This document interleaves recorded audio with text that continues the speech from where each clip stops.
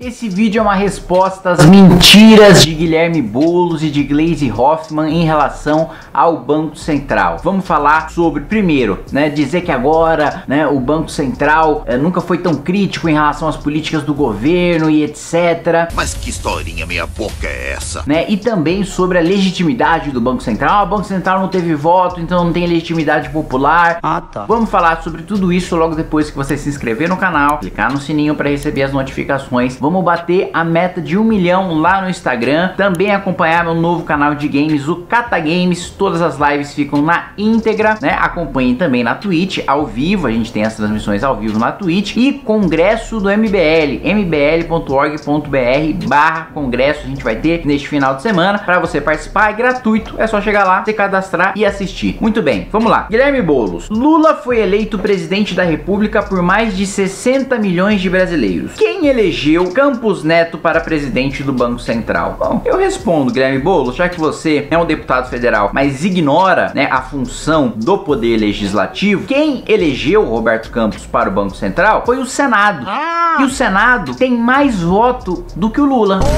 O Senado tem mais de 100 milhões de votos. E mais do que isso, foram apenas seis votos contrários e uma abstenção. O que significa que gente, muita gente que hoje é base do governo Lula no Senado votou a favor da indicação de Campos Neto. Então, antes de falar baboseira, Guilherme Boulos, estude o processo legislativo, estude a função do Senado, estude a função do Banco Central. Agora, vamos falar sobre uma fake news uh, da Glaze Hoffman. A Glaze disse que durante o governo Bolsonaro, né, o Banco Central não deu um pio em relação né, à política econômica do governo. Você não sente vergonha de falar isso em voz alta? E mais, ainda disse que a nota divulgada pelo Bacen está muito mais crítica do que acontecia no ano passado, quando o Banco Central não deu um pio sobre as façanhas orçamentárias de Bolsonaro para se reeleger. Bom, vamos lembrar de façanha orçamentária do Bolsonaro, a gente está falando de PEC Kamikaze. Você votou a favor, Glaze Hoffman, dessa façanha orçamentária, por populismo, por demagogia. Você e o PT inteiro votaram, então você não tem moral nenhuma para falar sobre façanha orçamentária de Bolsonaro. Ela disse: aliás, o mercado também aqueceu. Mentira! Caiu a bolsa, subiu o dólar assim que veio a notícia de que teria a PEC kamikaze. É mais uma mentira deles de que eles seriam os coitadinhos perseguidos pelo mercado financeiro. Mentira! Aliás, tenho provas aqui e vou utilizar, né, uma thread maravilhosa feita pelo Alexandre Schwartzman para colocar sobre os vários pios que o Banco Central deu em relação ao governo Bolsonaro, né, para mostrar que Glaze Hoffman está mentindo. Primeiro, outubro de 2021. Apesar do desempenho mais positivo das contas públicas, o comitê avalia que recentes questionamentos em relação ao arcabouço fiscal elevaram o risco de desancoragem das expectativas de inflação, ou seja, criticando o governo Bolsonaro pela sua política econômica levando à inflação. Dezembro de 2021. Apesar do desempenho mais positivo das contas públicas, o comitê avalia que questionamentos em relação ao arcabouço fiscal, mais uma vez criticando a política fiscal a gastança de Jair Bolsonaro, elevam o risco de desencoragem das expectativas de inflação, mais uma vez criticando Jair Bolsonaro pela sua política inflacionária, mantendo a assimetria altista no balanço de riscos. Fevereiro de 2022, apesar do desempenho das contas públicas, o comitê avalia incerteza em relação relação ao arcabouço fiscal, mantendo o risco elevado de desancoragem de expectativa de inflação. Mais uma crítica. Depois outra crítica em março sobre inflação, sobre risco fiscal. Outra crítica também em junho, outra crítica em abril, ou seja, críticas todos os meses do Banco Central independente em relação à gastância e à inflação do governo de Jair Bolsonaro. Então, senhora Glaze Hoffman. Não se faça de desentendido. Isso é uma mentira escancarada. Escancarada sobre política pública. E sabe o que isso significa? Significa que a senhora será representada no Ministério da Verdade por mentir. Afinal de contas, contas, não é para isso que vocês criaram a Procuradoria da Defesa da Democracia na AGU? Pois bem, por enquanto, só quem foi processado lá foi gente do governo, mentiroso. Todas as representações minhas, contra Lula, presidente da EBC, contra Marina Silva, contra todos os mentirosos do governo. E agora, Glaze Hoffman, você entra para esse hall de mentirosos. Vão continuar sendo representados até que a gente aprove aqui na Câmara dos Deputados o PDL de minha autoria que acaba com esse Ministério da Verdade, que é só um instrumento para perseguir inimigo político.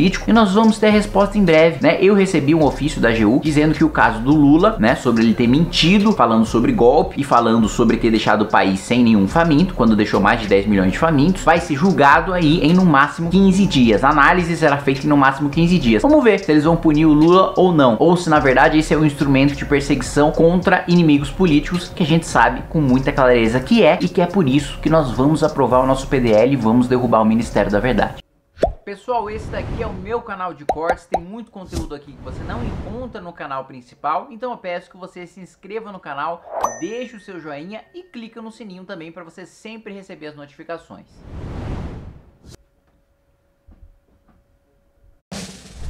Pessoal, eu preciso falar com vocês sobre esta revista aqui. Esta revista chama-se Revista Valete. É a revista do Movimento Brasil Livre que, ó, tá linda e não só linda, com muita qualidade, mas também com muito conteúdo. Vou só dar aqui, ó, uma folhadinha para vocês, para vocês darem uma olhada na qualidade, na densidade dos textos, na qualidade das imagens é uma revista absolutamente profissional e para você assinar, ter acesso a ela, é só você clicar no link que eu vou deixar aí na descrição para você receber a valete bonitinha aí na sua casa com artigos de gente muito inteligente para te atualizar e te deixar né, no limite do conhecimento de várias áreas envolvendo filosofia, história, geopolítica, política, economia.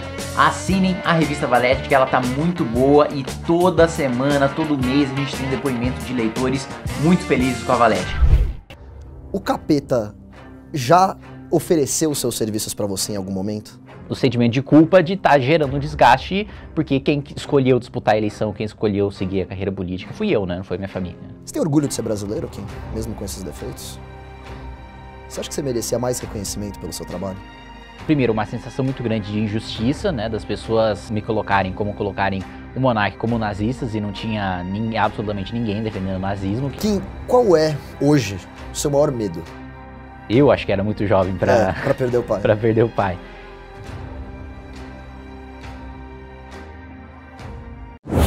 Pausa no vídeo para falar do Clube MBL. Pois é, o Clube MBL é o grande instrumento que permite que você participe conosco da forma como a gente pensa e raciocina política. Você gosta dos meus vídeos, você gosta das lives do MBL News, você gosta do trabalho do Kim? Pois é, o Clube MBL é o lugar onde você vai ver onde a gente raciocina, onde a gente investiga, onde a gente obtém informações de bastidores. Você vai ter acesso a bastidores, você vai ter acesso a informações de Brasília, a relatórios especiais, a vídeos mais aprofundados, melhores do que o que eu faço aqui lá dentro do clube. É uma rede de Telegram e é uma plataforma especial montada para você. Isso aí vai custar apenas um real por dia. Eu tô falando sério, um real por dia. Para você ter acesso a informações de altíssima qualidade e além de tudo você vai ajudar a bancar não apenas o MBL, mas o grande projeto do MBL esse ano, que é a formação do nosso partido. Vem fazer parte do Clube MBL, além de você não se arrepender, você vai se enriquecer bastante. Aguardo você lá.